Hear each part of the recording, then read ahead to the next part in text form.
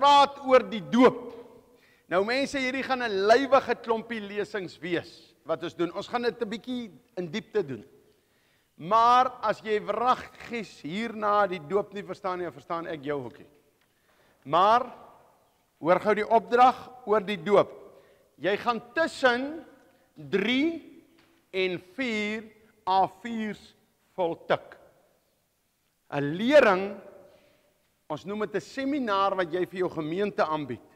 So jy gaan 'n preek tik van omtrent waar jy sal in 2 na 3 ure met jou gemeente praat.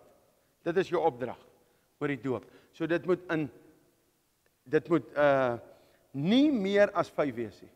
Asseblief, maar dis een van jou lywigste take. So die beste gaan wees al die lesings wat jy nou doen, vat uh notes en as jy heel klaar is, dan skryf jy ding uit want hier is 'n paar lesings wat hier gaan volg. OK.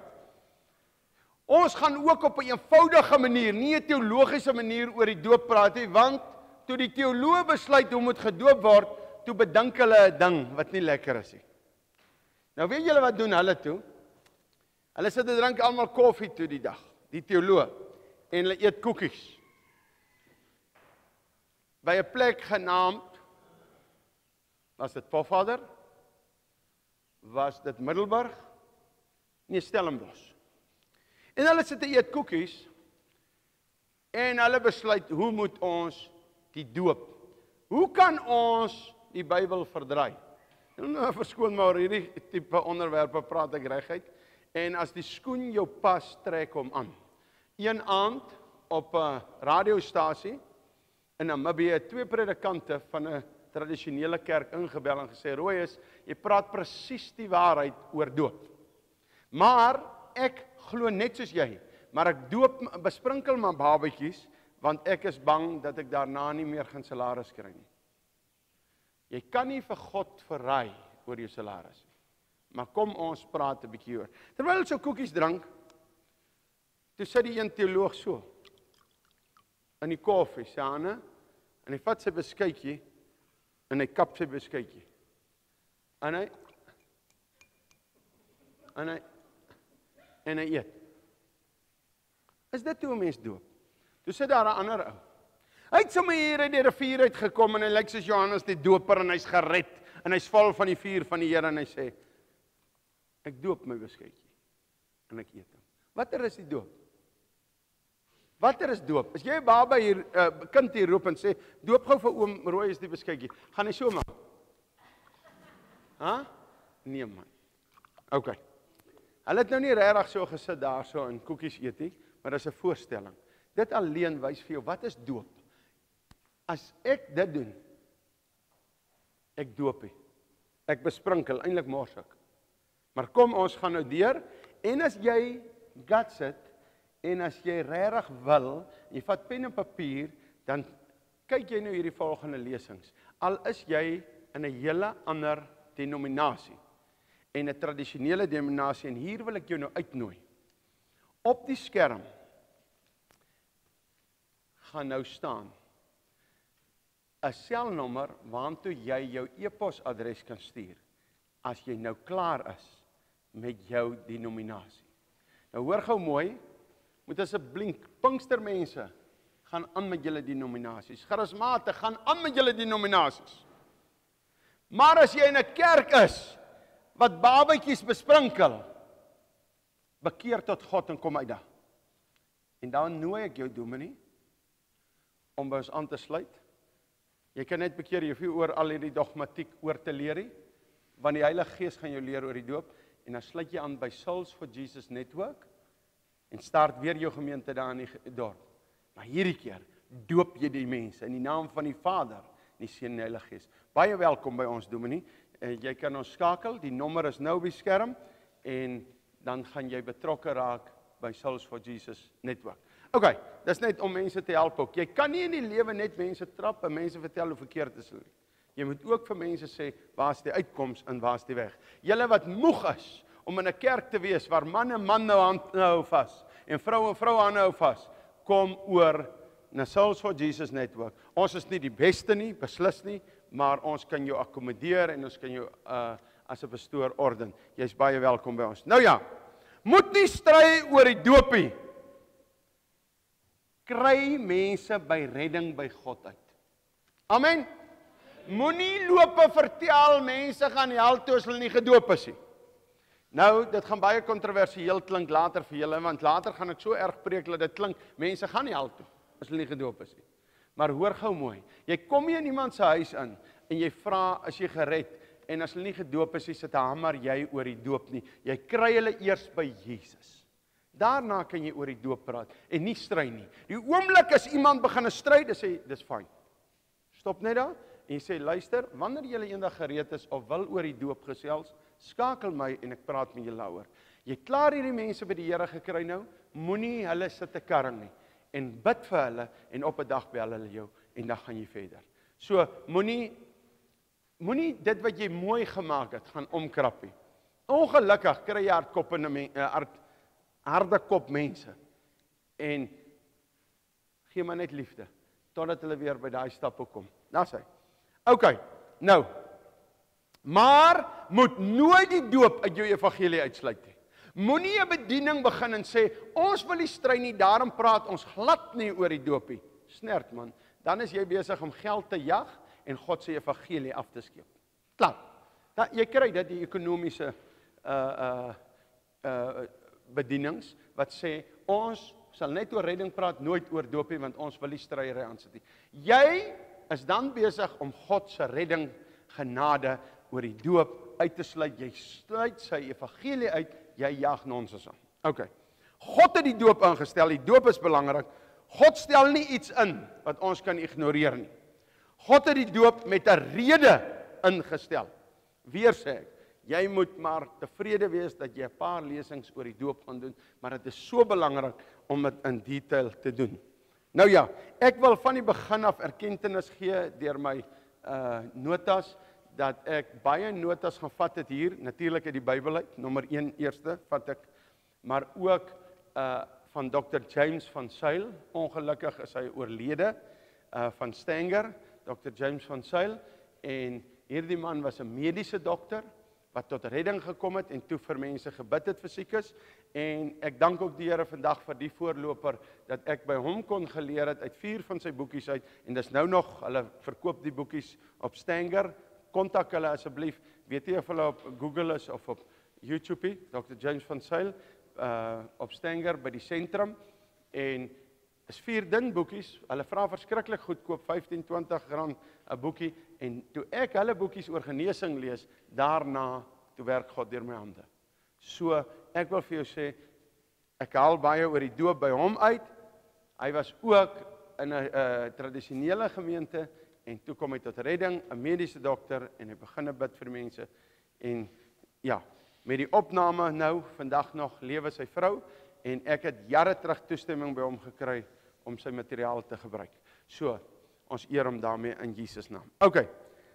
So ek sal baie op die notas nou konsentreer want daar's baie inligting wat ek wil deurgee wat baie belangrik is. So die ou wat vervelig raak, jy moet weet jy sal moet begin groei. Maar ek besef ons wat hier sit, dis baie warm.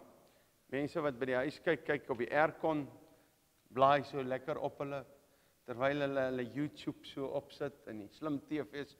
Uh maar uh, ons hierso kry warm, maar kom ons hou uit. Ons sal na hierdie een so 'n bietjie breek vang. OK. Die doop van Jesus. As daar nou 'n ding is wat Satan haat, dan is dit dat iemand hom laat doop. Jy sal sien Satan sal teestaan redding. Maar as dit by die doopwater kom, dan staan 'n erger te. Moenie verbaas wees omdat daar so baie oor die doop gestry word nie. Want Satan is die meester wat die mense verwar omtrent die doop. Hy weet baie goed as mense hulle laat doop, raak hulle gehoorsaam by God. Dit is eintlik waaroor dit gaan. Mense is nie in die hel. Nou moet ek my woorde mooi kies anders verstaan julle my verkeerd. Mense is nie in die hel oor 'n klomp sondes nie. Mense is in die hel oor ongehoorsaamheid. Ongehoorsaamheid vat jou hel toe. So as jy bly oreer, jy's ongehoorsaam teenoor God. Bly rook, jy's ongehoorsaam. Daarom is daar rokers in die hemel vandag. Daar's mense wat 'n wyntjie gedrink het wat in die hemel is vandag. Nie 'n dronkaard nie, hy kan nie. Die Bybel sê so. Maar daar's mense vandag in die hel wat nog nooit dronk was nie, net wyntjies so af en toe gedrink het, maar oor sy ongehoorsaamheid toe God praat en dit nie los nie, het hy sou intoe gegaan. Julle verstaan wat ek nou sê? In die uh ek sien Sorita verstaan nie heeltemal nie, maar hy sal nou net inskop oor ongehoorsaamheid. En dit is goed. Ons mag verskil. Skryf daai vragies neer dat ons 'n vrae sessie het. OK. Nou, Satan haat Jesus en hy haat die doop van Jesus. Hy haat God en hy haat die Heilige Gees. Hy vrees God, hy vrees Jesus, hy vrees die Heilige Gees en hy vrees die Heilige Gees in die mens. En daarom moet Satan baie pas op dat mense nie na die doopwater toe gaan nie. Handelinge 2 vers 38 en 39. Handelinge 2 vers 38 en 39. Daar beloof God die Heilige Gees aan die mens wat hom bekeer en hom laat doop. Nou moet julle my baie mooi hoor, ek kry aan mekaar hierdie vraag. Wanneer ontvang iemand die Heilige Gees? Baie sê by die doop. Ek gaan nou vir julle die volgende sê, die dag as jy bekeer. Julle moet nou mooi hoor, Efesiërs 1 vers 13 sê jy word verseël met die Heilige Gees by jou redding. Efesiërs 1 vers 13. Nou, wat gebeur het in daardie tyd? Toe was die Heilige Gees mos nog nie ontvang nie. En toe word dit baie beskryf in Handelinge dat die Heilige Gees ook ontvang. Nou moet jy weet daar's ander dinge oor die Heilige Gees. Daar is die vuur van God deur die Heilige Gees, die doping van die Heilige Gees. Dit gaan nou binnekort in die lesings na die doop inkom. Daar is die salwing van die Heilige Gees. Jy's in 'n die diens en skielik voel jy hierdie opgewondenheid en skielik weet jy Kentucky is baie ver, maar jy voel soos 'n hoendertjie. En jy kry hoendervleis. Maar hoendervleis kan ook 'n demoon wees. So jy moet onderskei hê. Maar net om in kort te sê, by die bekering Efesiërs 1:13 ontvang jy die Heilige Gees. Na jou doping, jou doop met water, ontvang jy doping met die Heilige Gees gaan dit nou net in detail verduidelik. Doping met Heilige Gees. Jy klaar die Heilige Gees in jou, nou ontvang jy die doping. Maar ek gaan dit nie in hierdie doop verduidelik nie want dit kom nou in 'n lesing. OK. En dan aan jy gawes ontvang en alles moenie nou deurmekaar raak nie. Wees net rustig. Die goedjies sal die een na die ander kom. OK. Nou Kom ons gaan 'n bietjie aan. Satan weet ook dat die mens wat hom laat doop gehoorsaam is aan Jesus en dit haat hy. Satan wil nie hê die mens moet aan God gehoorsaam wees nie. Hy wil hê die mens moet aan God ongehoorsaam wees. Satan sal alles in sy vermoë doen om die doop van Jesus te verkleineer, bespotlik te maak en as dit nodig is, woorde gebruik soos wederdoper, 'n sekte uh om jou te verhoed om uh gedoop te word. Dan sê hulle jy't 'n sekte en jy's dit en jy's dat en baie mense is onterf omdat hulle laat doop het in die regte manier. OK. Kom ons gaan aan.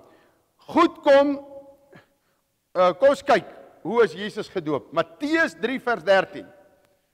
Skryf neer daai uh skrifgie. Matteus 3 vers 13. Hy het vir ons 'n voorbeeld gestel hoe hy gedoop is. Toe hy gedoop word, toe hy uit die water uitkom, toe kom die Heilige Gees in die vorm van 'n duif op hom. So die Heilige Gees kom op hom na doop. En wat gebeur toe? 'n Stem in die hemel sê: "Dis my geliefde seun in wie ek welbehaag." Die drie enige God is by die doop fisies daar. En party mense waag dit waaragtig om So rivierdoop, ek wil dit nie nou 'n nuwe naam gee, rivierdoop, dit kan swembad wees, dit kan in 'n jacuzzi wees, dit kan in 'n doopbak in die kerk wees, maak nie saak nie. Maar nou kom hulle en hulle noem dit 'n sekte waar die drie enige God sy stempel daarop geplaas het. Ons moet besop dat ons dan as ons sulke goed vir mense vertel, kan ons die kans staan om die hemel te mis. Ek kan nie sê jy gaan hel toe nie, kan dit nooit sê nie. Ek kan nie eers sê wie gaan hemel toe nie. Ek kan net sê die woord sê as jy so lewe gaan jy hemel toe, as jy so lewe gaan jy hel toe, maar ek kan nie sê jy gaan beslis hel toe of jy gaan beslis hemel toe nie. Dis nie my hand nie. Daardie is God se besluit. En is dit nie wonderlik om dit maar liewerster in sy hande te gehad het nie? Want dink nou as dit in rooi strous hande was. Hoeveel van julle was nou al reeds daar by die charcoal stokery? Hæ? Want ek het nie die genade van God nie. Dis goed om in die naam ag in die hande van Jesus te wees, want hy's vol liefde. Hy gee aandag. Hy hy wil ons in die hemel hê. Maar ons gaan eendag verbaas wees dat daar mense in die hel gaan wees wat ons nie daar verwag nie. En ons gaan eendag verbaas wees dat daar mense in die hemel gaan wees. Ons gesê wragtig, het hy of sy dit gemaak? Hoor wat ek vandag vir julle sê. God self het gesê, die hoere, die tollenaars en die dronkaards gaan julle voorgaan in die hemel. Want van ons raak te grand. Ons dink ons is te oulik. Ons dink ons maak nie meer foute nie en ons moet reeds na onsself dan kyk. En ek kan nou vir julle eerlik sê, as daar nou iets is wat ek goed van myself kan praat, ek kyk baie na myself. Ek gaan as elke aand as ek my kop op my kopkussing sit, dan sê ek, Here, waar het ek gisterand toe sê ek weer? Het ek nie te erg oorgekom nie. Maar ook ek voel nog vanoggend goed oor daai. So dis goed. Okay, nou wonder almal. Prys die Here. Okay. Kom ons gaan 'n bietjie aan. Toe Jesus na die Jordaanrivier na Johannes gekom om deur hom gedoop te word. Matteus 3 vers 13 en 17. Maar Johannes het hom ernstig teëgegaan en gesê: "Ek het nodig om deur u gedoop te word en u kom na my toe." Maar Jesus het geantwoord en gesê: "Laat dit nou toe, want so pas dit ons om alle geregtigheid te vervul." Wil jy die geregtigheid van God vervul?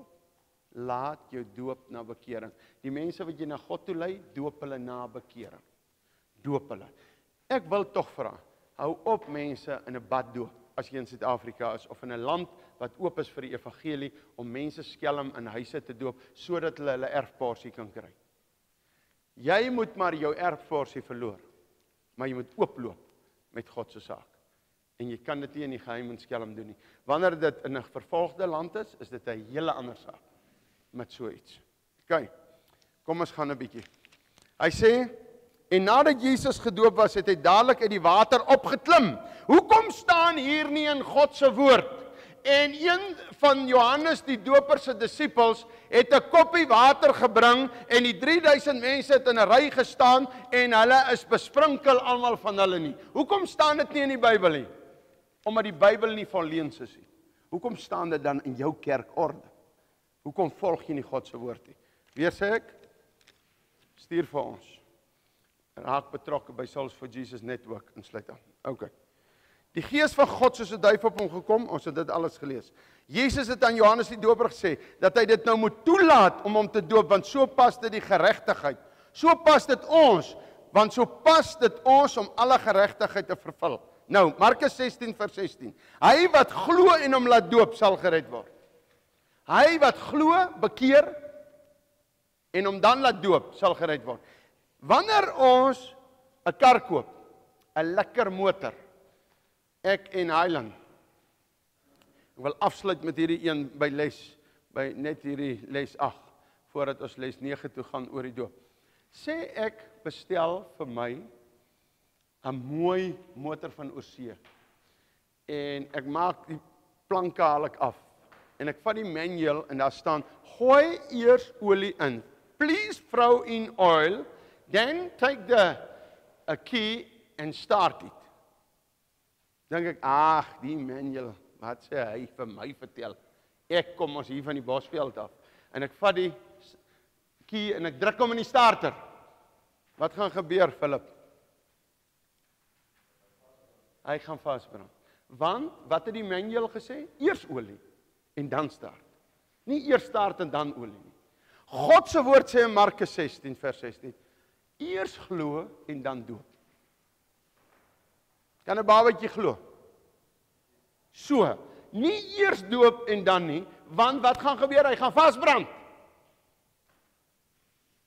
Doen presies wat God se woord sê. Weer sê ek, luister na al die lesingsla voordat jy jou hele ehm uh, taak opstel en instuur, maar dankie dat jy getrou is en luister. Jesus like jou.